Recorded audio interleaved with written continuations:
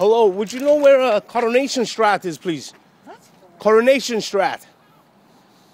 Coronation, we only know as a, as a TV program from England.